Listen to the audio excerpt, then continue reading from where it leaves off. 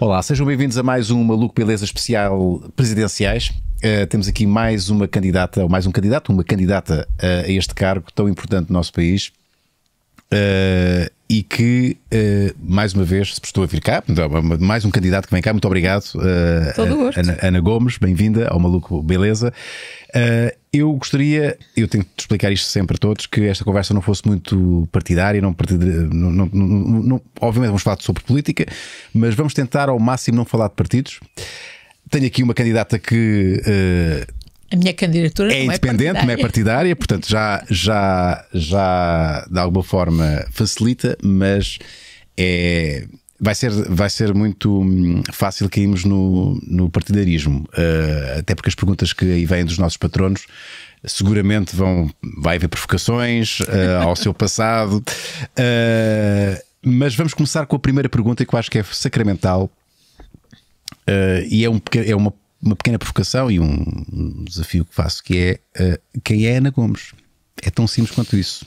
É uma portuguesa de 66 anos, mãe, avó. Uh, já fui tanta coisa. Há uma amiga minha de infância que escreveu um livro que dizia Só me falta ser viúva. Eu já sou viúva. E já fui imensa coisa. e hum, acho que tive imensa sorte na minha vida e, hum, e acho que tenho obrigações como cidadã deste país e, e acredito no país, acredito na juventude deste país e é por ela que, que aqui estou, como candidato, que corro. e acho que a minha geração tem, tem obrigações. Muito bem, está aqui um, um, um retrato, um autorretrato. Uh, vamos começar talvez com as perguntas dos nossos patronos. É óbvio que eu também vou aqui incluir as minhas e eu gosto sempre de dar oportunidade aos patronos de se fazerem. É a voz do povo, acaba por ser aqui a voz do povo, e há pouco a Ana falava-me, antes de entrarmos aqui na nossa conversa, que gosta muito de fazer campanha, gosta muito de estar em, no terreno. Exato. Uh, estamos numa circunstância muito, muito especial, nem tudo é possível fazer-se, não é? Uh, mas isto é essencial ouvir a voz, a voz das pessoas. Para mim é. Eu gosto de, de, Sempre aprendi com as campanhas que fiz. É claro que eram campanhas muito diferentes desta, porque eram campanhas de, colaborativas, digamos, Sim. e esta sendo, obviamente, implicando também colaboração com todos os que me estão, todos e todas os, não, os que me estão a apoiar. Uh, é uma candidatura a um órgão unipessoal que, obviamente, implica muito mais exposição minha e, e, muito mais empenho meu, digamos. Por outro lado, é uma campanha muito diferente por, por causa das condições, das restrições, digamos, a, que a pandemia implica. E eu gostaria muito mais de fazer esta campanha um, com mais oportunidade de estar no terreno e de estar uh, em reuniões, chamemos de town hall, sessões de esclarecimento, uhum. em que tanto eu estaria disponível para responder às perguntas das pessoas, como para as ouvir. É claro que hoje continuo, estou a fazer isso, mas online e atinjo uma em certo sentido, até talvez uma, uma audiência mais ampla, mas mais restrita, porque, por exemplo, muitas pessoas da, das mais vulneráveis. Das não têm acesso, não é? Não, não são info-excluídas, não têm condições para, se calhar, iriam a uma, a uma, a uma sala de uma junta de freguesia e, e não, não, não vêm online. De qualquer maneira, não estou a abstrair de ir ao terreno. Estou, tenho estado todos os dias e para mim é muito importante de visitar fábricas, visitar escolas, visitar uh, câmaras e juntas de freguesia, uh, associações empresariais, universidades. Conhecer o. Eu, eu acho que conheço razoavelmente bem o nosso país, mas está sempre a mudar, há sempre coisas novas e eu sobretudo tenho vindo muito encorajada do que vejo, porque vejo muita gente de todas as idades, mas muita gente jovem que não baixa os braços, que não desiste deste país. E é exatamente essa uh, também o, o, sentimento que me anima e que me faz correr. Combustível. Ora bem, então vamos tentar replicar um bocadinho uma sessão, de, uma sessão dessas, porque, juntando o melhor dos dois mundos, porque temos perguntas. Eu confesso que li muito assim transversalmente, assim, muito na diagonal das perguntas. Portanto, também vou ser surpreendido um bocadinho com as perguntas. Uh, tal como a Ana, não, não combinámos absolutamente nada. Uh, e estamos a usar esta plataforma que vai permitir que muita gente veja isto. Portanto, é uma, uma espécie de melhor dos dois mundos. Uh, Porco Sensual, é assim que se chama o nosso patrono. Eles são livres de, dar os, de se auto-intitularem como quiserem. Faz a primeira pergunta. Gostaria de saber se a doutora Ana Gomes uh, iria ser idêntica ao Marcelo. Já começamos com as provocações. E seria entrar em, em discórdias com o governo, mas alturas que achar mas nas alturas que achar que o deva fazer. Pergunto também se o mandado de, de sete anos uh, é assim tão produtivo, uma vez que não haveria a mesma pressão e responsabilidade que dois. Gosto que defenda o sentido de justiça e combate à corrupção, contudo, Paulo Pedroso, lá está, foi um exemplo de quem foi ajudado pelo que se escutou nas escutas, ainda que não validadas. Cumprimentos ao, a todos os presentes. Bom, estamos aqui já aqui no, na questão delicada, que muita gente uh, lhe aponta, o porquê da escolha de Paulo Pedroso, uh, mas quer responder já aqui a, a estas questões do, do, do, porco sensual? Antes de mais, eu uh, suponho que a pessoa se está a referir a, um, a uma, uma, ideia que eu defendo que, que, que seria considerável em sede de revisão constitucional, que era a de, em vez de haver dois mandatos consecutivos do Presidente da República, penso que seria mais produtivo haver um longo mandato de sete anos, eh, sem pôr a pressão exatamente de uh, quem, quem está no lugar eh, pensar que tem que ser reeleito. Sim. Daria mais liberdade e mais independência, suponho eu. Isso acontece noutros países? Não. Acontece. Para é que encontramos uh, Bom, em França acho que o mandato é de sete anos, okay. embora renovável, e eu acho que não devia ser. Ui, então, então na, na, teoria podem ser 14 anos? Penso que sim. Uh, mas uh, eu, eu, penso que seria sete anos não renovável. Okay. É o que eu defendo.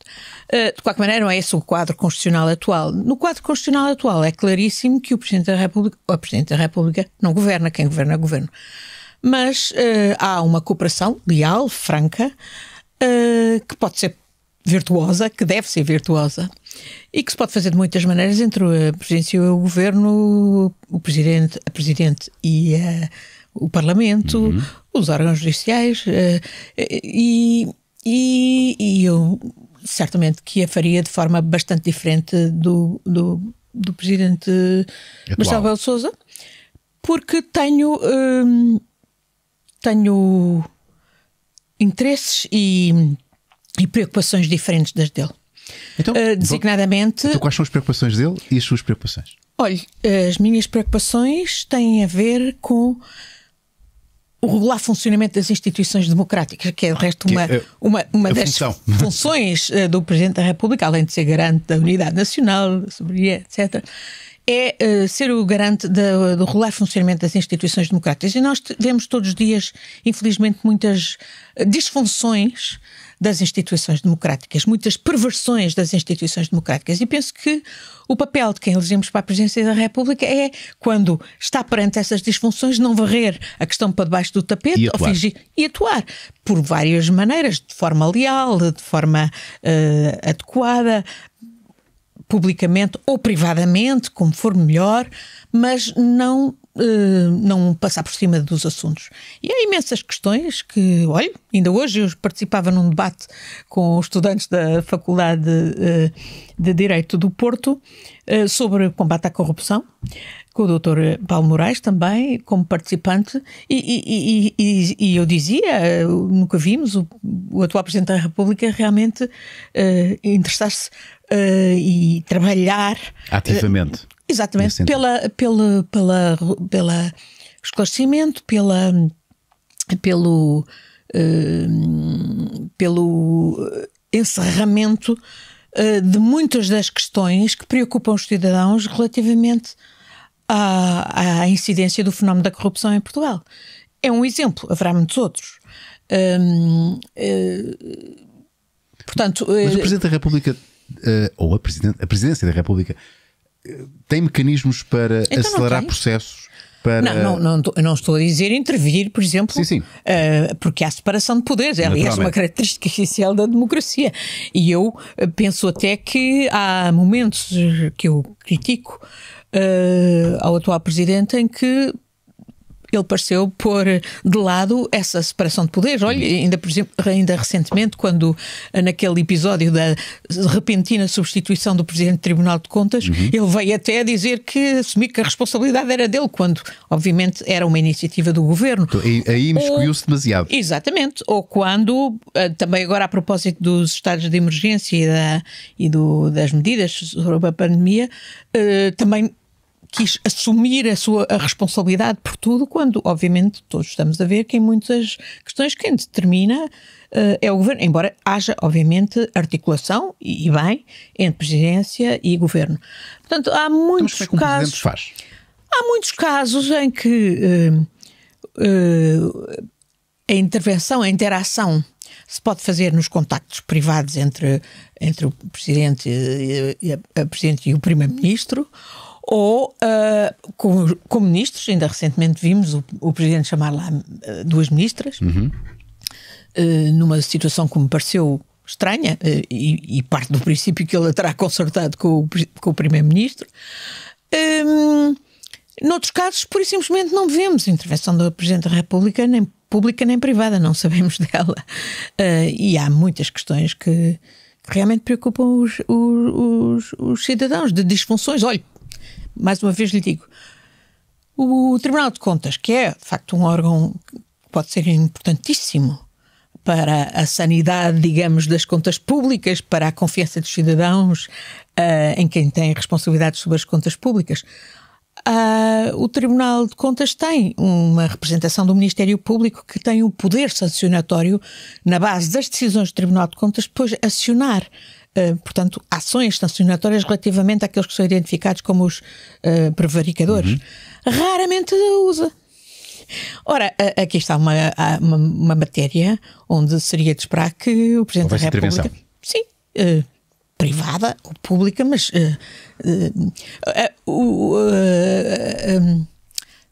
a organização de muitos dos processos de corrupção em esquemas de, chamados de megaprocessos, uhum. como receita para trabalhar para, para aboborar, para a prescrição. Uhum. Esta não é uma matéria que, em que o Presidente da República, de forma normal, acordada, até nem necessariamente pública, pudesse uh, interagir com a PGR, com a Procuradora-Geral da República, com a própria Ministra da Justiça, com uh, outros operadores da Justiça, para que, uh, para que se encontrasse os modos mais expeditos de, de, de, dar justiça. O próprio Presidente da República já disse, e eu estou inteiramente de acordo, justiça um, demorada é justiça negada. Uhum. Mas este é realmente um dos graves problemas do nosso país. Uh, que, que obstaculiza o nosso próprio desenvolvimento, os investimentos, etc. Há muitas, olha, toda a matéria relacionada com um, as transferências para offshore. Ainda recentemente houve um estudo uh, da Tax uh, Justice Network, validado pela OCDE, que calcula em mil milhões de euros aquilo que Portugal perde anualmente para os offshores, portanto, em evasão, fraude Sim. fiscal, etc.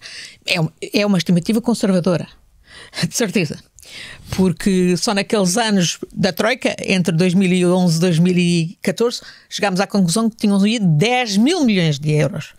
E depois, nos anos seguintes, 2016, 2019, foram 30 mil milhões de euros. Bom, a título de pagamentos, de royalties, serviços, etc. Mas sabemos que é por esses esquemas que, de facto, há imenso dinheiro que devia entrar nos cofres do Estado e que não entra. E é depois à conta disso que se diz não há dinheiro, não há dinheiro, e a dívida, a dívida e o déficit, etc. E depois não há dinheiro, de facto, para pagar as, uh, os serviços públicos. Olhe, para reforçar o Serviço Nacional de Saúde, o importante é neste momento uh, para responder à pandemia, para reforçar a escola pública, para reforçar os, as forças de segurança, que são obviamente fundamentais para o nosso país e que não devem trabalhar em condições de indignidade, precárias, etc. Ora bem, alguma vez viu o Presidente Marcelo Rebelo Sousa fazer alguma referência a isso? Nunca. E esta é uma questão importante. É uma, olha, tão importante. Ainda ontem eu ouvia, eu, ou hoje de manhã eu ouvia o Ministro uh, Vieira uh, falar até no contexto da Web Summit e de um uh, anúncio de que uh, vai haver um forcing para, para a taxação das grandes plataformas digitais, que são aquelas que estão a ganhar dinheiro faraonicamente e que mais beneficiam dos esquemas dos offshore, etc. Uhum. Nós não sabemos, por exemplo, quanto é que uh, as grandes multinacionais tipo Google, Apple, Facebook, Amazon fazem de lucros no nosso país e quanto é que desviam para os offshores à, à conta dos lucros feitos no nosso país com consumidores portugueses. Não sabemos de todo, é totalmente opaco. Esta é uma questão fundamental. Uh, sabemos que é uma questão que distorce as condições de concorrência no mercado interno europeu. Sabemos que a Comissão Europeia diz que as pequenas e médias empresas pagam em média mais 30% do que as grandes multinacionais que usam os esquemas dos offshores. Alguma vez ouviu a Presidência da República pronunciar sobre esta matéria e ter uma intervenção, digamos, de pressão pública ou privada junto das entidades que podiam fazer a diferença e que passam pelo Banco de Portugal, pela Autoridade Tributária, etc., quer reforçando-as em meios, quer dando-lhes coragem política para intervir. O, o, ligado com isto, já... eu nunca mais sim, sim, sim, O offshore da Madeira. Dizem-me que amanhã teremos notícias de Bruxelas sobre essa matéria. Estou a aguardar. Alguma vez o offshore da Madeira a Zona Franca da Madeira. Sim. Dizem que não é offshore. É um offshore, funciona como offshore, mas nós temos outros, outros centros de offshore na, em toda a Europa e até aqui no nosso país a funcionar. Uh, uh, mas é um, realmente um, um, um, mecanismo perverso. Alguma vez eh, tem sido objeto de um de intervenção da Comissão Europeia, que reviu muitas das posições que no passado permitiram que isto, uh, que este esquema florescesse em Portugal, uh, na, na, Madeira e noutros, noutras, uh, noutras latitudes europeias.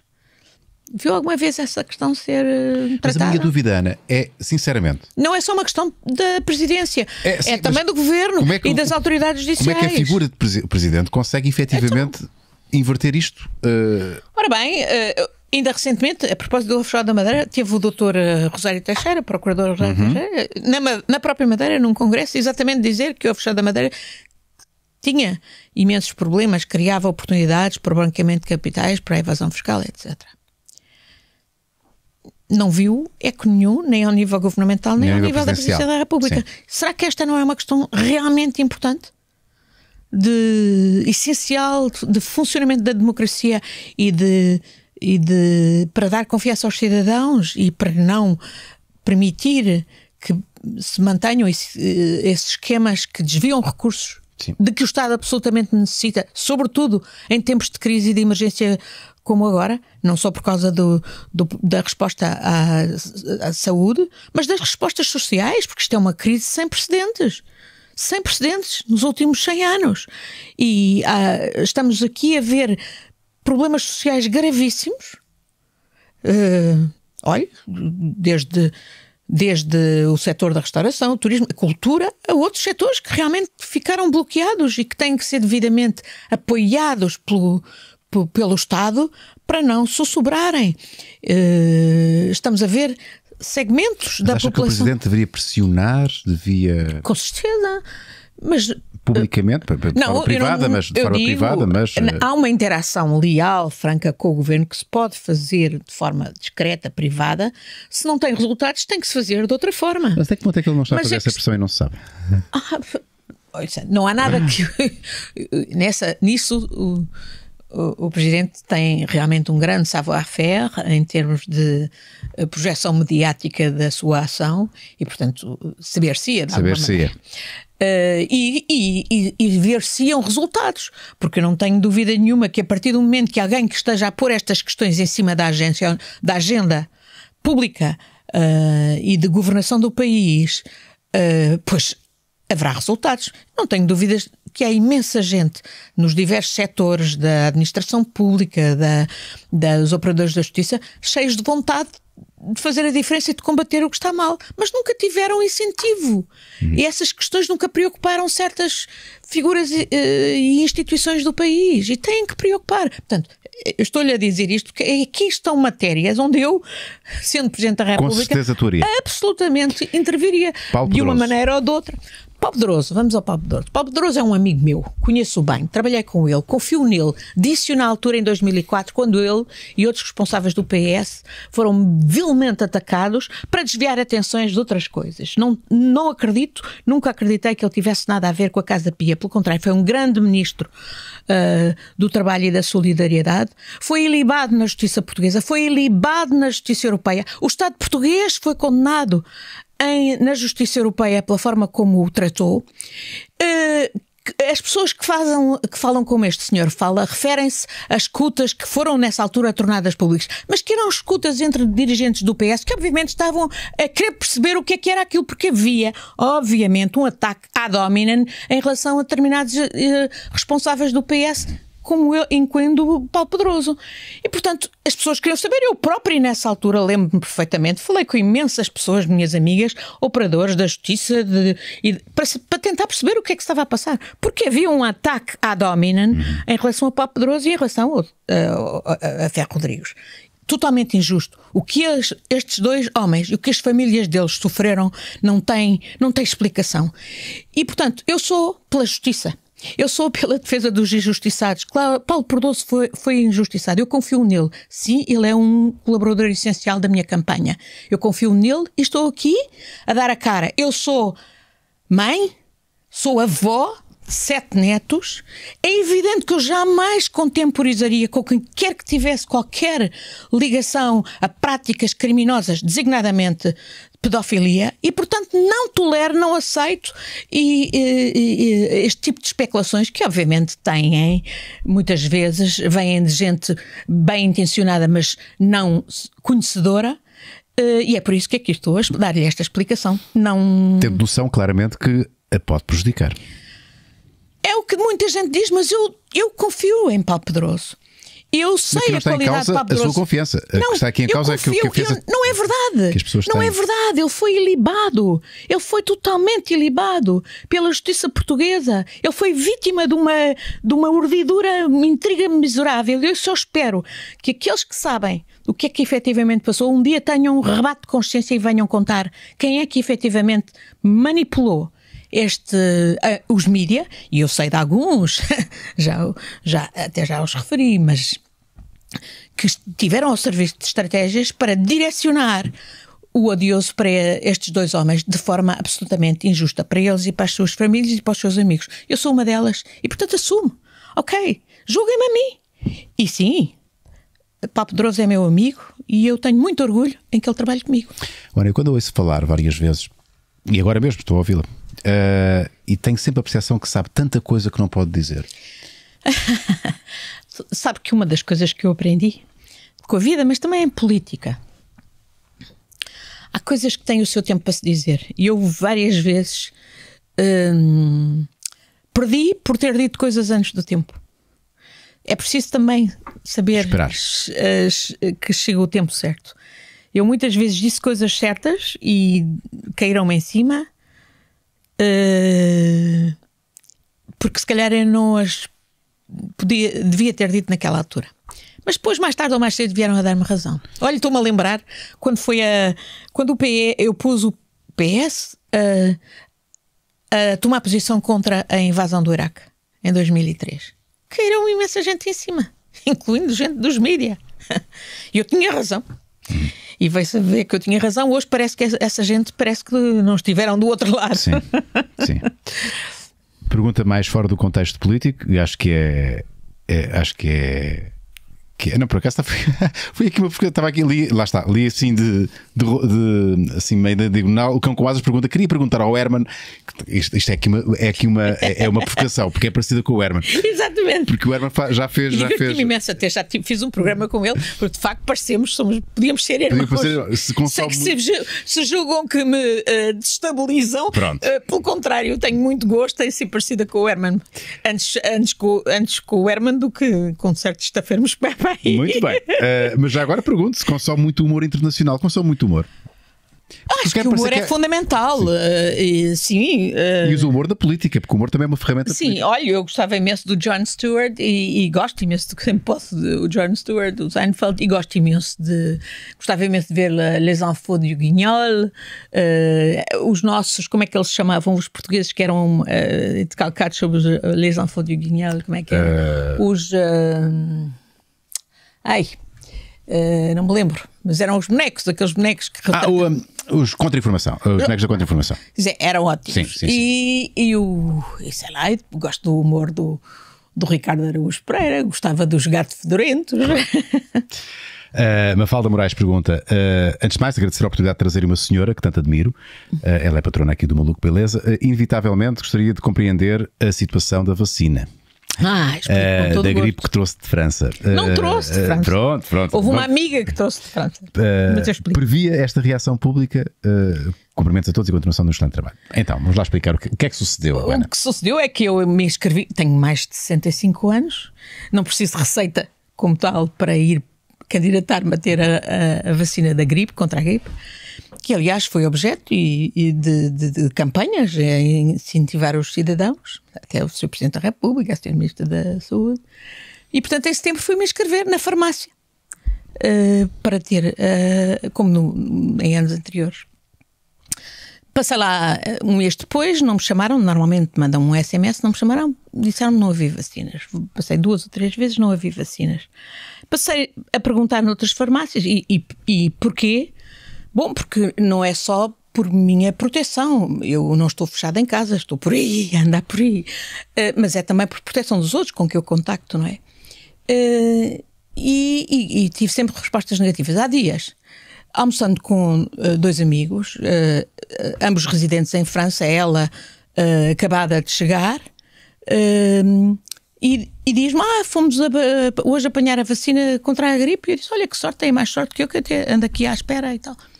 Ah, mas nós temos uma a mais, porque eu, uh, sendo residentes em França e de mais de 65 anos, podia, têm, têm acesso. acesso. Como não sabia se o marido conseguia aqui, sendo ele não, ele não é português, eh, trouxe. Trouxe uma para o marido. Só que o marido, entretanto, e ela tinham conseguido, numa instituição portuguesa, ter a vacina. E, portanto, tinha uma no frigorífico e disse-me: se ainda não tomou, tome, leve-a. Ora bem, eu no dia seguinte com a vacina, que estava toda protegida, estava no frigorífico, num saquinho termo, etc. Fui a uma, a, a uma farmácia perto da minha casa e perguntei: tem vacinas? Não. Então pode-me dar esta que me foi trazida por uma, foi-me dada por uma amiga e foi trazida de França. E a farmacêutica disse, foi ver, pediu o cartão para verificar se claro. eu tinha mais que os 65 anos, etc. Registou tudo, até me deu um certificado que eu tenho comigo da, da vacina, notando que ela era fabricada em França, etc e deu uma vacina. Não veio da China. Exato, não. E, tá, veio de um país da União sim, Europeia sim, com uma vacina aprovada pela Agência Europeia de Medicamentos. Uhum. Ora bem, fui eu que divulguei isto. Se, houvesse, se eu tivesse a mais pequena sombra de ilegalidade. No... Jamais divulgaria, claro. Não, e jamais o faria, porque se, se me tivesse sido chamada a atenção, por exemplo, na farmácia, claro. que, não podia, que não poderia ser, mas não, não houve nenhum problema. Ora bem, como lhe digo, até me deram o certificado. Eu, porquê que eu divulguei isto? Porque quando a, a, a pessoa me estava a dar a, a injeção, disse-me: Ah, sabe, eu disse que não havia vacinas, mas a verdade é que há vacinas. Simplesmente não podemos dá-las aos, aos utentes do SNS, como a senhora, mas uh, porque são só para, reservadas para pessoas de determinadas empresas. E nós temos que, quando a pessoa vê, chega aqui e diz que é da empresa tal e que está na lista, nós temos que telefonar para o número. E eu disse: então como é que é possível? Então os utentes do SNS, designadamente pessoas de risco, digamos, dos grupos de risco, não estão a ter vacinas, porque eu conheço várias outras pessoas, eh, até mais velhas do que eu, que não estão a ter vacinas, e depois há é vacinas reservadas para as empresas. E o meu objetivo foi exatamente denunciar, explicar. E denunciar a situação. Aliás, entretanto, tenho vindo, até por causa desta polémica que se gerou, com quem tentou uh, imputar-me, eu não, eu não passei à frente de ninguém. Eu não, eu não tirei a vacina a ninguém. E não, não Muito tomei foi o francês que ficou sem vacina. Não, não, não, porque o francês, entretanto, tinha apanhado sim, sim. uma vacina cá em Portugal Exato. e, portanto, não, não, não, não precisou da, da vacina que tinha vindo para ele. Hum, eh, mas eu agora encontrei pessoas, ontem, por exemplo, várias pessoas que me disseram, pessoas jovens em relação a mim, 30, 40 anos, que me disseram: Eu já tive a vacina porque a minha empresa comprou e aconselhou, etc. Mas estou preocupado porque a minha avó, com 80 claro. ou 90 anos, ainda não tem a vacina. Há aqui uma perversão, por isso eu no meu tweet dizia como é que é Direção-Geral de Saúde. Não sei exatamente o que é que se passou, presumo que a Direção-Geral de Saúde terá feito a encomenda habitual das vacinas, que me dizem que ser cerca de 2 milhões, e desta vez, porque havia também este contexto da pandemia de maior preocupação, eh, houve um afluxo de muito mais gente a comprar vacinas e de facto o que eu acho perverso é que gente muito mais nova, designadamente por via das empresas a que pertence, esteja a tomar a vacina e os mais velhos de grupos de risco, muita gente mais velha de grupos de risco, não não têm acesso à vacina. Há aqui uma perversão e que eu espero que seja corrigida. Absolutamente. E foi esse o meu intuito ao uhum. divulgar. Bom, a prova que, que eu estava e, e, estava e estou completamente à vontade. Não cometeu nenhuma ilegalidade, não Eu acho que ninguém. não cometi nenhuma ilegalidade, ninguém me chamou a atenção para nenhuma ilegalidade, não passei à frente de ninguém, não tirei a vacina a ninguém. Uh, não, mas, mas se houve ajudou... alguma ilegalidade, eu assume a responsabilidade. Claro. Não sabia e assume a responsabilidade. Ninguém, o desconhecimento da lei não aproveita a ninguém. Disseram-me que o Infarmed dizia que não sei o quê, que era preciso receita médica. Mas para, os, para as pessoas com mais de 65 anos não é preciso receita Sim, médica. Estão automaticamente no grupo Exatamente. de risco. Não é? Exatamente. Uh, aqui Uh, Infelizmente é o meu caso, que já tenho mais de 65. Espero chegar eu também a esse caso e com essa saúde. Uh, Luís Castro pergunta: uh, Boa tarde, Laura, boa tarde, doutora Ana. O que acha do apoio do PS ao atual uh, Presidente da República e o que acha que um, um, uma, uma Presidente da República pode fazer para ajudar o setor da cultura? Acho mal, porque não, não, não, não tem nada a ver com a consideração e o respeito que eu tenho pelo professor Marcelo Rebelo claro. de Souza, que até foi meu professor e com quem sempre tive uma relação bastante amigável e cordial. Um, mas, ele representa, mas ele representa a direita deste país a direita democrática, embora ultimamente tenha feito esta deriva altamente perigosa para a democracia, que é de ser artífice deste acordo do Chega uhum. com outros partidos, que eu acho que é realmente, como disse Pacheco Pereira, envenenador, uhum. para, para, para o sistema político e para o partido de ambos em particular, uhum. que é o, o PSD e que é obviamente um, um, um dos pilares, digamos, da construção democrática em Portugal. Um, mas, portanto, acho mal que o PS apoie uma pessoa que é claramente um expoente de, de um partido de direita e, que não, e acho mal que, que o PS não esteja representado com um candidato próprio das suas fileiras ou de fora, mas que representa o espaço político democrático que o PS representa. Uh, e, sem dúvida que essa também foi uma das razões porque eu, a certa altura, entendi candidatar-me, porque acho que esse espaço uh, do socialismo democrático, ou digamos, que, que, neste momento é muito mais do que isso, do meu ponto de vista, que é no fundo todo o campo progressista uh, que quer defender a democracia, que quer regenerar a democracia, que quer contrariar aqueles que querem destruir a democracia, tem que se unir. E é por isso que eu aqui estou. Um, eu, ao, ao, contrário do que alguns tentam insinuar, eu não sou populista, porque os populistas querem destruir a democracia. E a extrema-direita populista em, em Portugal, como no resto da Europa e no mundo, tem um projeto autoritário e é por isso que precisa de destruir a democracia. Eu não. Eu quero regenerar a democracia, fortalecer a democracia. E acho que para isso todos os democratas têm que olhar, pôr a mão na consciência e ver onde é que se falhou. Porque muitas das razões porque uh, muitos cidadãos estão descontentes, descrentes, uh, alienados da democracia é porque acham que houve políticas que, uh, que claramente não serviram os interesses uh, do conjunto da população uh, e criaram ressentimento. E muitas vezes isso aconteceu porque houve políticas erradas que perverteram a democracia. Eu penso que as políticas neoliberais que, que, que incentivaram as desigualdades, as políticas neoliberais que criaram uma competição feroz, assente neste modelo extrativista, que, consumista, materialista, que não leva uh, em conta, por exemplo, os equilíbrios do planeta.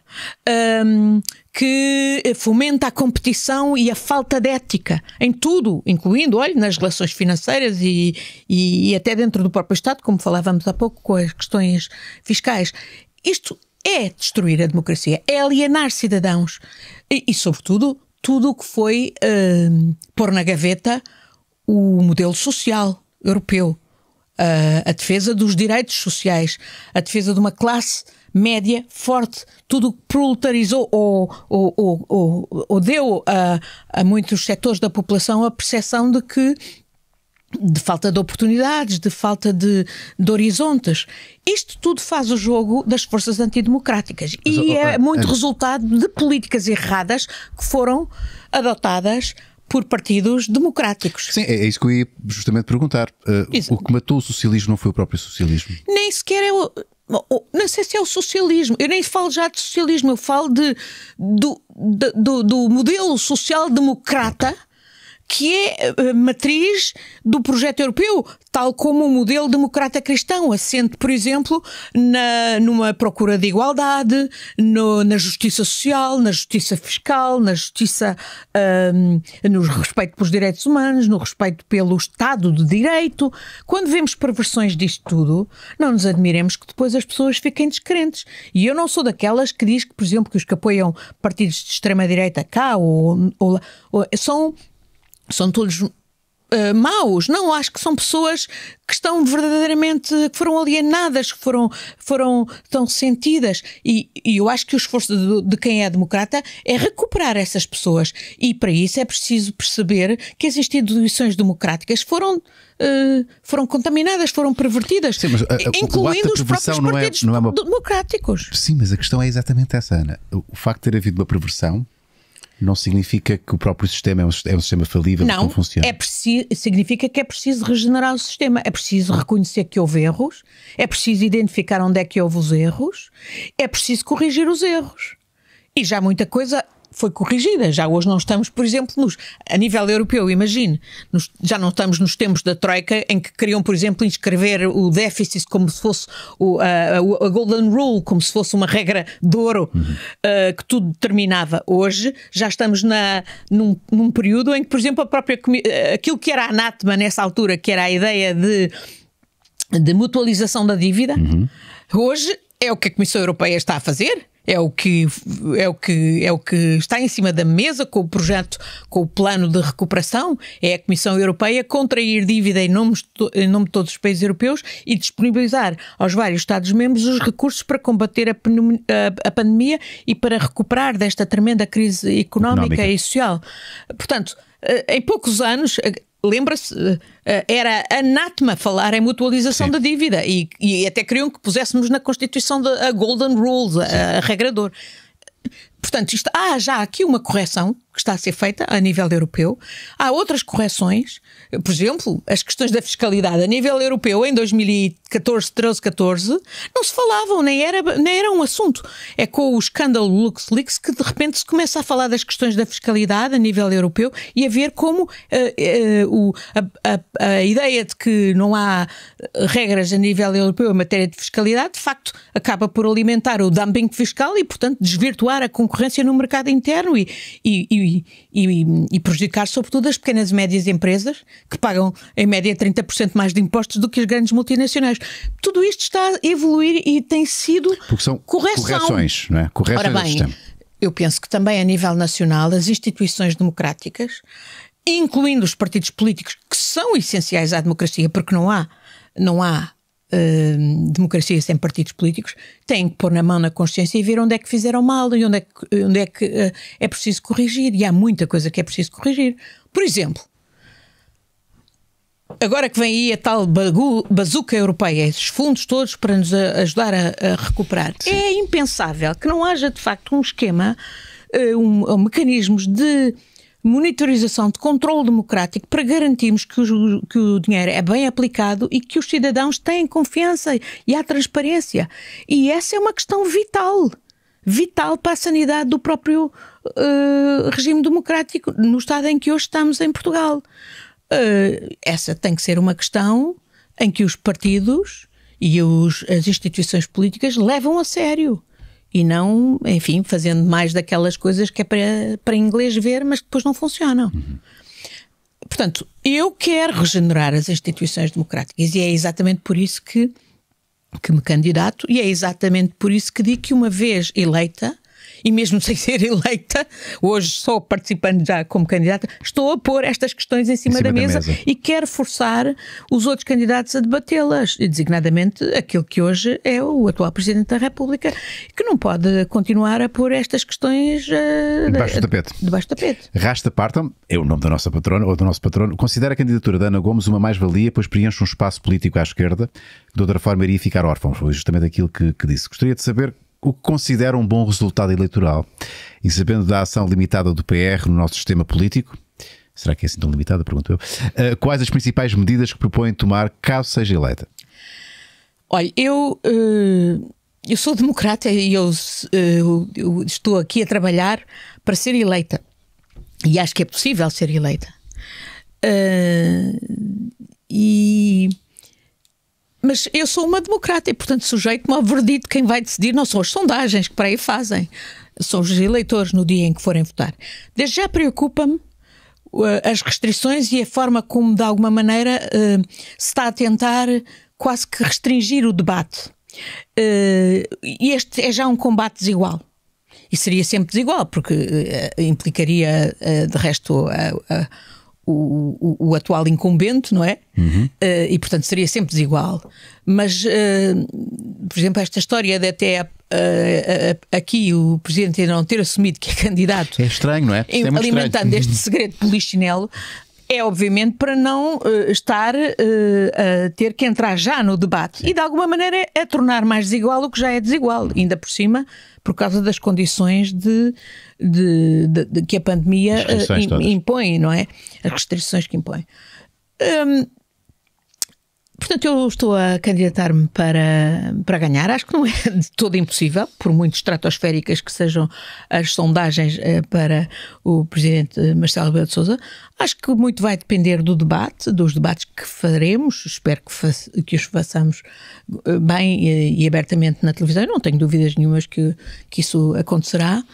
Um, e sem dúvida que eu direi, como já hoje lhe disse aqui, vários exemplos de questões que até hoje não têm sido discutidas, que são até obnubiladas quase que uh, uh, por sistema, uh, pelos principais responsáveis uh, públicos e que têm que ser discutidas e que têm que ser encaradas, que são questões essenciais de, uh, para voltar a dar confiança aos cidadãos nas instituições democráticas e que, e que não podem ser postas debaixo do tapete. E, portanto, eu, eh, como Presidente da República, tal como hoje já como candidata ou antes como cidadã e antes como europetada, nunca me demiti nem me demitirei de as uh, de as querer. Uh, ver discutidas, não é? E, e, e, encontrar soluções. E muitas das soluções, obviamente, não sou eu ou não será o Presidente da República ou a Presidente da República já encontrar. Sim, mas chamá-las ao debate. É? Exatamente, e vai depender do concurso dos vários operadores uh,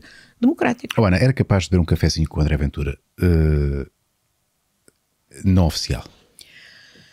Eu. Um, por uh, formação profissional, como diplomata, estou preparada para falar com o diabo. Mas uh, sei muito bem o que é que quero do diabo.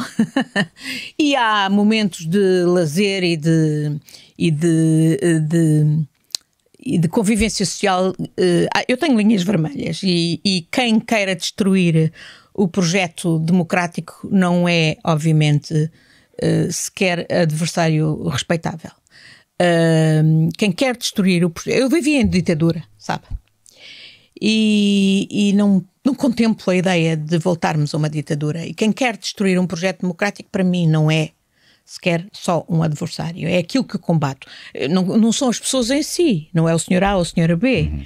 É o, o projeto de destruição da democracia que representa. E é por isso que eu considero intolerável e até incompatível com a Constituição atual e com os deveres do Presidente da República que jurou cumprir e fazer cumprir a Constituição, que, por exemplo, se aceite a normalização de um partido que quer destruir a Constituição e que quer destruir a democracia, como é o caso do tal acordo feito nos Açores. Mas eu vou retomar a pergunta. não vou desistir deste osso. Porque o André Ventura não é só o seu, o seu projeto político, não é só. Uh, é, é uma pessoa. Uh, Sim, é uma pessoa e contempla, tenho... contempla ter uma conversa agradável com o André Ventura. Eu espero ter um debate. Não, não, uma Estou conversa preparada. agradável num contexto Estou- que não seja estou de debate. preparada para ter um debate, não me furtarei ao debate com quem quer que seja, incluindo com esse senhor. Não me furtarei ao debate. Agora, não vou aqui dizer-lhe que, ah, que tenho algum prazer e que alinho Já se cruzou em. com ele? E que alinho em. Nunca ouvi pessoalmente. Nunca ouvi pessoal. Não. Eh, Que alinho em, em, em, em cortesias sociais eh, com quem, eh, para mim, representa um projeto que quer destruir a democracia. Eu defendo a democracia e defendo a lei por todos os meios. Por todos os meios, sempre. E, portanto, não, não contem por isso com pessoas que querem co- e que têm um projeto de destruição da democracia. Neste caso concreto, até penso que é- essa pessoa quer é projetar-se e defende isso e o seu contrário. Defende tudo o que, lhe der projeção. Portanto, nem sequer nesse aspecto é prática. É, É de coerente. facto- não, não é, não é para mim um interlocutor eh, respeitável, mas é, mas é, mas será meu adversário nesta contenda e, portanto, não me furtarei ao- aos debates debate. que tiver que haver. Então, o, a Inês eh, pergunta, gostava de perguntar à doutora Ana Gomes o que é que ela acha do papel que as mulheres têm na política atualmente, nacional e internacional, e se a nomeação da Kamala Harris eh, como vice-presidente dos Estados Unidos pode ser um novo caminho para as mulheres terem mais força na política. Parafraseando Walter Ugumem, numa entrevista que deu recentemente a um programa da RTP, 5 para, para a meia-noite, este pode vir a ser o século das mulheres. Obrigado, Malu Peleza, pelas boas Já é, conversas. já é bem tempo, não é? Já é bem tempo. Esta senhora, com certeza, que co- também concorre nesta apreciação minha. Hum, as mulheres são a maioria da população portuguesa e são a maioria da população na maior parte dos países. E têm sido, de facto, discriminadas. eh, por eh, uma cultura patriarcal, machista, que, eh, inclusivamente, quando elas já têm as qualificações, vão à escola e a todos os graus e estão em, to- eh, estão em todos os lados da ciência, da tecnologia, etc., mas continuam, por exemplo, a ter a encontrar os chamados tetos de vidro que as impedem, por exemplo, de ir a assumir postos de direção nas empresas, na, na vida económica, nos órgãos de decisão política. Eh, bom, muito também está na própria cabeça das mulheres ou na, na, na, na- disponibilidade delas para ir à luta, quando, as, quando muitas vezes têm que acumular sempre eh, Papel as tarefas. mãe, exatamente, e de responsáveis na família, por causa exatamente dessa cultura patriarcal, eh, que, que explica também, por exemplo, o facto de serem mulheres as- eh, o, a- a- a- o maior número de vítimas, por exemplo, de violência Doméstica. Que não é só doméstica, Sim, é é, no doméstica, é do contexto, espaço sim, público, é- público, é, é violência de género, Sim. machista. Ora bem, eh, sim, eu acho que é a altura de termos mulheres no topo de todos os órgãos de poder. Eh, e sim, é o tempo de termos mulheres na presidência da República. Isso tem uma grande importância na educação de todos, homens e mulheres. E eu não tenho dúvidas que há muitos homens progressistas que percebem que esta é uma questão de qualidade da democracia. E sim, eh, é, é importante que a Kamala Harris tenha chegado, e seja vice-presidente. Ainda por cima, ela não é só. Não é só por ser mulher, é por ser uma mulher que vem de minorias, de, eh, de pais imigrantes, de ascendência africana, de ascendência jamaicana e indiana, eh, de se assumir como eh, etnicamente, digamos, eh, afro-americana. Eh, penso que tem, como ela disse, que a mãe lhe tinha dito vais, podes ser a primeira mulher em tudo, mas trata de garantir que não serás a única. Para mim, esta é de facto uma atitude fundamental, porque não é uma questão de números, percebe?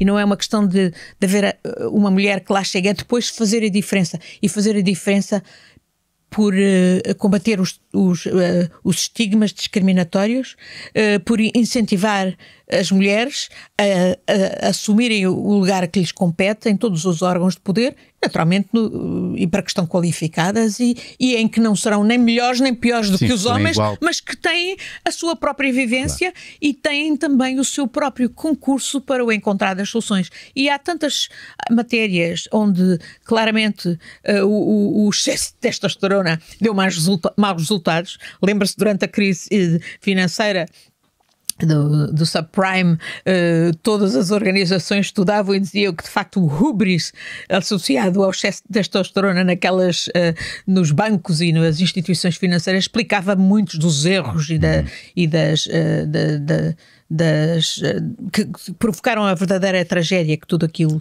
Faltava implicou. mais estrogênio e menos testosterona. E é, e- e é por isso que hoje, inclusivamente, também cá em Portugal, temos leis a determinar, por exemplo, a paridade que, que, todos os órgãos nas empresas, nas empresas públicas, na, nos conselhos de administração, da banca, etc., tenham equilíbrio de género.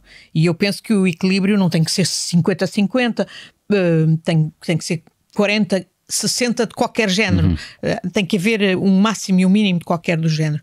A começar, obviamente, no governo, olhe, no Conselho de Estado, em todos os órgãos de poder. Eu não tenho dúvida nenhuma que, sendo eu Presidente da República, isso mudaria. E, e tem poderes para isso? Então não. Então não. De obrigar essa cotização? Então não, não é cotização. E como lhe digo, se há cotas é para, para os dois géneros, porque claro, eu acredito claro, claro. no equilíbrio de género. Acho que qualquer órgão deve ter um mínimo de 40% de um género e de 60% do outro. E acho que isso é perfeitamente possível com gente hoje qualificadíssima, competente em todos os, os domínios, homens e mulheres. E esse equilíbrio é saudável, é saudável para a democracia. E sim, então, imensos órgãos que é o Presidente da República que, que, que, que que, que, nomeia. Que determina, sim. E, e, e independentemente de nomear, Uh, pela sua interação com os outros órgãos, pode uh, determinar que, por exemplo, eu gostava de ver mais paridade no governo. Uh, hoje temos muitas mulheres secretárias de Estado, temos algumas ministras, mas o, o, número de homens ministros é muito superior. Claro. Sempre foi assim. O Polícia Sinaleiro pergunta, queria perguntar à doutora Ana Gomes, o mesmo que já perguntei há umas semanas ao Camilo Lourenço. Quando é que isto muda? Quando é que virá uma geração de políticos verdadeiramente preocupados com os portugueses que sejam contra os lobbies e interesses? Uh, deixo aqui uma sugestão: que todos os políticos com cadeira na Assembleia, incluindo o Primeiro-Ministro, trabalhem por objetivos. Recebem todos Olha, o salário muda. mínimo, mas que sejam muito bem remunerados se o seu trabalho for bem avaliado. Isto faz sentido? Muda quando os jovens deste país assumirem que o país lhes pertence e não se desinteressarem e forem à luta. Em todos os lados. Desde logo nas eleições, que vêm aí, mas também nos partidos políticos ou nas associações cívicas ou em. Porque a política não se esgota, os partidos políticos uhum. são importantes para a democracia, mas não se esgota nisso. E há imensa necessidade de associações cívicas neste país. Olhe, para seguir a utilização dos fundos, para garantir, por exemplo, que não há uh, esquemas de, de portas giratórias no poder, que não. Há, eu não sou a favor de que se pague ordenado mínimo aos políticos. Eu acho que os políticos precisam de ser bem pagos. Agora, precisa-se de lhes ser exigente de escrutínio, de transparência e de. Uh, por exemplo, eu não concordo que os deputados lhes seja permitido exercer outra profissão, muitas vezes, por exemplo, advocacia ou outras, uhum. e, e, no fundo facilitando que eles sejam uh, instrumentos de, de outros interesses, de, de, de Lobby, tráfico de influências, de, de, de, de, interesses, de conflitos de interesse, etc. Não, acho que se deve exigir dedicação total a quem está deputado, porque não, não se é deputado, deve-se estar deputado durante um certo tempo, exclusividade total e, e naturalmente pagar-lhes bem, para se lhes exigir também. E transparência total. Quer dizer, esta história, por exemplo, ainda há pouco tempo soubemos que as declarações de, de, de património uh, que são uh, feitas, uh, são, que são obrigatórias para os responsáveis políticos na, no Tribunal Constitucional, não tem nenhum órgão que realmente tenha meios para, para verificar se são. Se, ninguém fiscaliza a... aquilo, ninguém não. checa se é verdade. Pior ainda, parece que nos últimos tempos, à conta perversamente de, do chamada proteção de dados, do, que decorre do Regulamento Geral de Proteção de Dados aprovado a nível europeu, a maior parte dos dados foram riscados, obnubilados. Portanto, até se regrediu na transparência que seria exigente. Quem vai para a política tem que saber que está sob escrutínio, tem que exigir máxima transparência e tem que também estar uh, uh, disponível para ser exigida máxima transparência sobre a sua ação. Não é possível, por exemplo, que no nosso país ainda não tenhamos os vários meios que já foram uh, enunciados por imensa gente para uh, se efetivar aquilo a que Portugal está obrigado por ter assinado e ratificado a Confissão das Nações Unidas contra a Corrupção, que é a criminalização do enriquecimento ilícito ou injustificado. E há muitas maneiras de o fazer, uh, mas há uma resistência terrível. De, mu de, muita gente responsável nos órgãos políticos, porque querem manter o esquema que hoje é opaco e favorece os interesses privados que uh, são representados por alguns e desta maneira se perverte o interesse público e, e isso perverte a confiança dos cidadãos nas instituições democráticas. Isto tem que acabar. E é exatamente aí uma das, uma das matérias onde eu, como Presidente da República, tenho a certeza que farei a diferença. A doutora Ana Gomes uh, perguntou Daniel Mota, como futura Presidente, já pensou que praia vai frequentar para ter mais hipóteses de efetuar um salvamento? Olha, eu, eu nado bem e graças.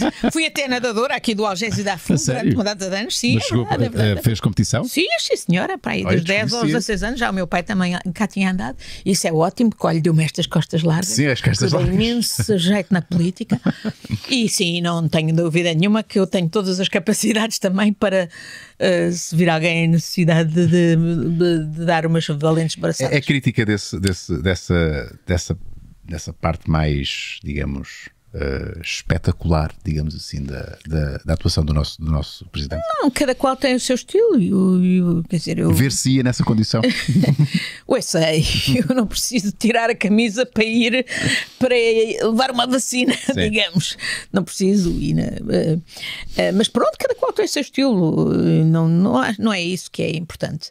Um, eu eu gosto de praia, sim, senhora.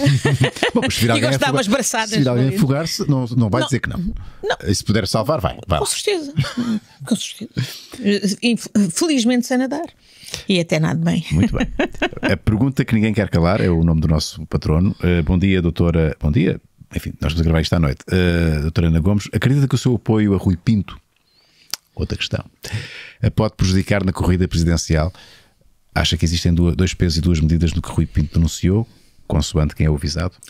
Olha, eu sei que há imensas coisas que eu fiz que, não so, que são controversas e que, e que toda, muita gente pode dizer, ah, isto prejudica-te, mas eu não faço esse tipo de cálculos. Quer dizer, se eu, se eu achasse que muita coisa que eu fiz me prejudicava, por e simplesmente não estava aqui, claro. sujeita ao, ao, voto dos cidadãos.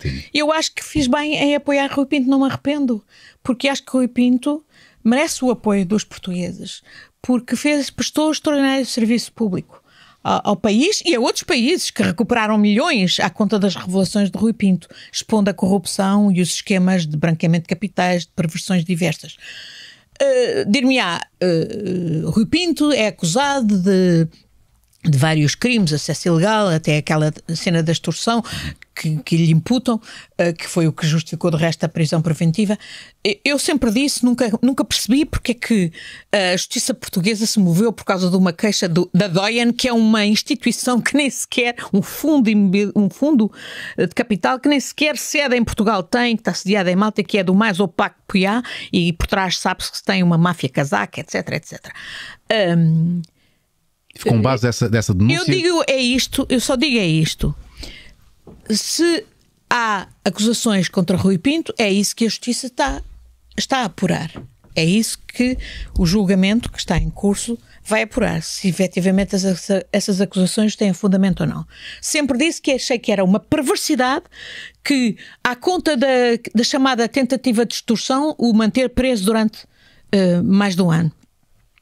Porque não há outros casos de pessoas uh, acusadas de tentativa de extorsão que tenham estado uhum. presos assim.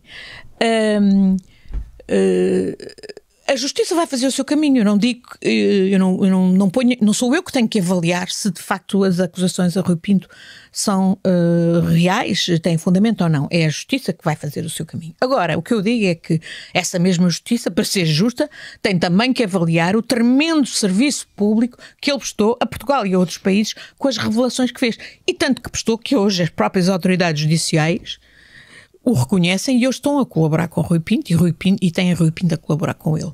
E eu só tenho pena é que as autoridades portuguesas tenham acordado tarde para essa colaboração, porque outras autoridades de outros países há mais tempo foram ter com Rui Pinto e conseguiram já recuperar milhões uh, para os seus países, o que ainda não aconteceu em Portugal, mas espero que venha a acontecer, porque de facto sobretudo quando estamos a lidar com criminalidade um, económica e financeira, que hoje se vale dos meios digitais. Criminalidade que se vale, por exemplo, perversamente também do segredo profissional de certas classes profissionais, como os advogados, e não estou obviamente a acusar todos os advogados, mas não só, advogados, contabilistas, consultores, que se, que se valem do segredo profissional indevidamente para, no fundo, proteger e organizar e engendrar esquemas de branqueamento de capitais e, no fundo, de serviço à criminalidade organizada no, em todos os domínios. E, e o Rui Pinto interessou-se em particular pelas ligações do mundo futebol. do futebol com, com os negócios e com a própria política, etc. Uh, ah, pois, faça esse tipo de criminalidade, sabendo nós que as autoridades não têm meios, nem humanos, nem formação, nem recursos periciais, nem nada, é evidente que elas precisam de colaborar com pessoas como Rui Pinto. E, e portanto, essa colaboração é, é, é saudável. É, é, é, é, valorizada, por exemplo. Nós não sabemos hoje, até hoje, quem é que é a fonte dos Panama Papers. São aclamados em todo o mundo como um, um, um momento fundamental de transparência e de, e de eh, dando instrumentos de ação às autoridades para recuperarem milhões e para combater a grande criminalidade organizada de todo tipo que se escondia, portanto, através Sim. desses esquemas. Ora bem, nós não sabemos quem é a, eh, a fonte dos Panama Papers até hoje. Foi é um, protegida tem um pseudónimo, não sabemos se é dentro da própria uh, organização na tal Sociedade de Advogados Mossack Fonseca ou se é de fora, é... mas ninguém duvida do extraordinário uh, serviço público uhum. prestado por essa pessoa que, que tem o pseudónimo de John Doe. Ora bem, é a mesma coisa em relação ao Rui Pinto, Pinto no caso dos Football Leaks, no caso dos Luanda Leaks e em muitos outros casos que se calhar a justiça portuguesa já sabe que... E, e que a Ana também sabe? Alguns, alguns imagino, outros não sei. Eu não sei, eu, eu, eu, eu próprio não sabia. Eu próprio não sabia que o Futebol Leaks uh, tinha na origem uma pessoa como o Rui Pinto, um português era o Rui Pinto. Quando eu pela primeira vez tive contato com o Futebol Leaks, exatamente no quadro dos Panama Papers Sim. do Parlamento Europeu, eu não fazia ideia que havia um português. Só soube que era um português quando o advogado dele, já ele estava uh, com o mandato de extradição na Hungria a ser, a ser uh, portanto, a eh, pedido pelas autoridades portuguesas e o advogado francês dele me entrou pelo gabinete dentro, eu conheci esse advogado e me veio dizer eu preciso de ajuda porque não sei se tu sabes que, que quem está por trás do Futebol Leaks é um jovem português que está neste momento a ser objeto do pedido de extradição uh, das autoridades portuguesas. E aí eu passei a ajudar. Não tem contacto com o Rui, não? Já o encontrei algumas vezes. Uh, e, e, e, estou à espera de ir. Uh, encontrei, fui visitar lá a prisão, eu não o conhecia pessoalmente, uhum. só o conheci quando fui visitar a prisão. E agora estou à espera de ser chamada a tribunal porque sei que o meu nome foi indicado, arrolada como uma das testemunhas, portanto. Mas uh, sim, encontrei duas ou três, talvez quatro vezes na prisão, e até na prisão encontrei, conheci o pai dele e a irmã dele e estivemos a conversar.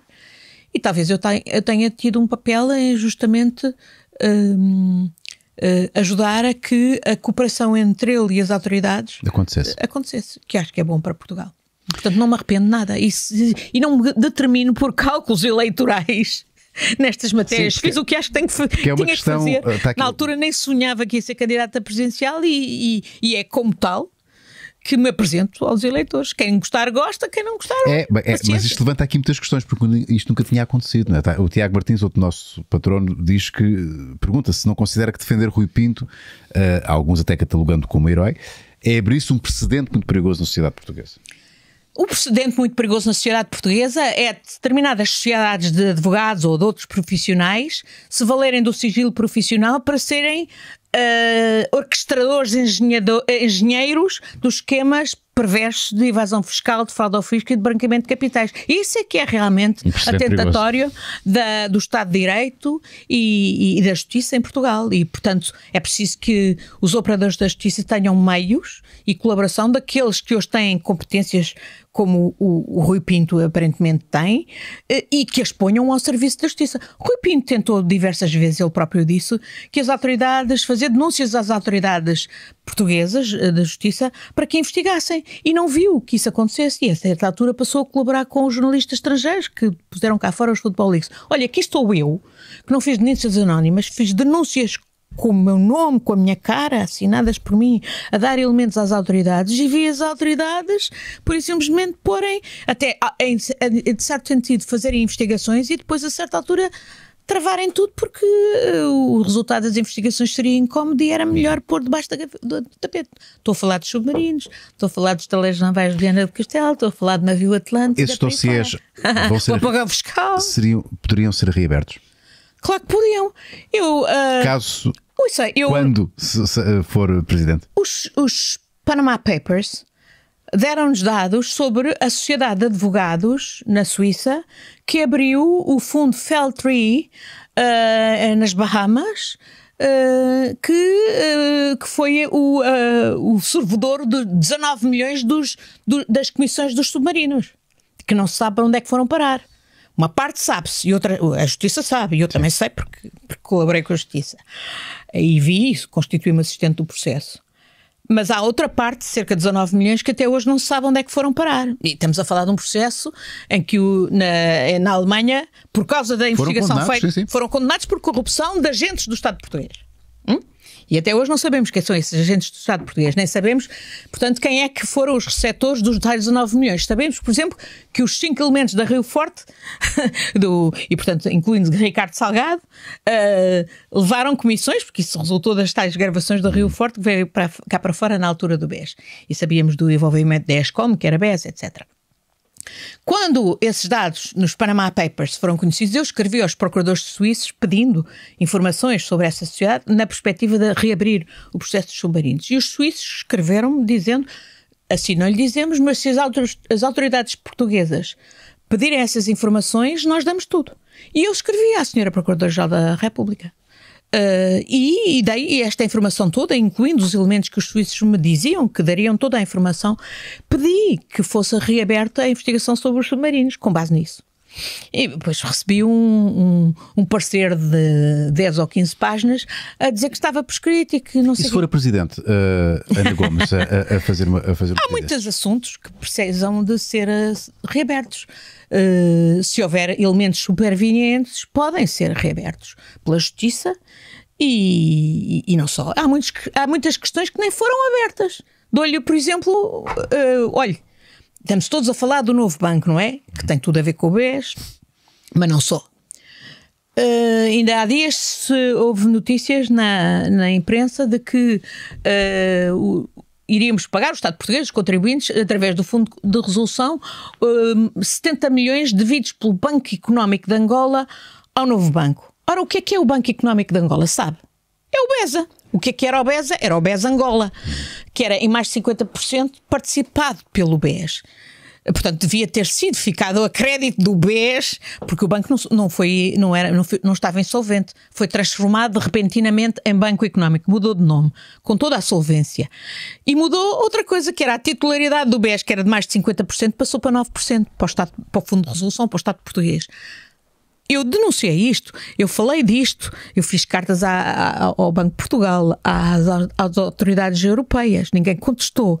Viu alguém até hoje mexer um dedo para garantir que o Estado português, que, que herdou o buracão BES, sim, sim, sim. ou menos se tivesse compensado com a parte do BES que era BESA e que está lá, hoje chama-se Banco Económico, na mão, aliás, do chamado trio metralha uh, angolano, que agora até já o próprio presidente João Lourenço esforçou a ter que entregar isso às autoridades angolanas. Não viu. Ninguém fala disto. E agora vem-nos dizer que ainda o nosso fundo de resolução vai pagar 70 milhões que o tal banco económico, que era o ex-BESA, deveria ter pago ao novo banco. Há aqui perversões terríveis. Sim, estas questões deviam estar na agenda de todos os órgãos de poder, incluindo o Presidente da República. O Presidente da República, de resto, é um eminente professor de Direito, deu pareceres uh, a, a, todo tipo de autoridades nacionais e, e, angolanas. De certeza que não, não tem insensibilidade a estas uhum. questões, uhum. não é? Portanto, uh, sim, Há muitas questões que têm que voltar a ser postas em cima da mesa e não ser enterradas debaixo de, do tapete, em, lesando o Estado português e lesando os contribuintes portugueses. Estamos quase a acabar a nossa conversa, Ana. Estamos quase com uma hora de conversa. No entanto, tenho aqui mais duas ou três perguntas, se não se importar. Esta vem do Lobo Solitário e é uma pequena provocação. Uma convidada na qual me revejo, uma loba solitária, ou será que não? Fica a provocação. A minha pergunta é a seguinte: independentemente de ganhar ou não estas eleições, o que pretende trazer ao panorama político nacional com esta candidatura? Já, já, já falou aqui várias vezes os temas que quer trazer à baila. Quer parecer que a corrupção é, sem dúvida, a sua maior bandeira? Diria que sim. Um, para já eu não sou solitária, eu sou gregária. Muito gregária. E é exatamente por ser gregária que acho que tenho que me empenhar pelo país, acredito no país, acredito na, na, na, nos portugueses e nas portuguesas, acredito que a juventude tem que tomar mão nisto, tem que reclamar o país, tem que ter horizontes, eh, tem que ter oportunidades cá agora e não continuar a ser mandada para fora para se realizar pessoal e profissionalmente. E, e, portanto, sim, a corrupção é um elemento muito importante da minha atuação, porque eu acho que a corrupção tem sido um dos, um dos fatores pervertendo a, a, a democracia e minando a confiança dos, uh, dos cidadãos e das uh, cidadãs nas instituições democráticas. Mas eu não, não, não, não desligo a corrupção uh, da olha, do respeito pelo Estado de Direito integralmente, do respeito pelos direitos humanos, porque corrupção é violar os direitos humanos. Olha, é menos dinheiro para o Serviço Nacional de Saúde para salvar pessoas, é menos dinheiro para a educação pública, que é o grande uh, motor da, da ascensão social e das oportunidades para os jovens e para, e para os portugueses uh, saírem e, se, e desenvolverem eh, este país.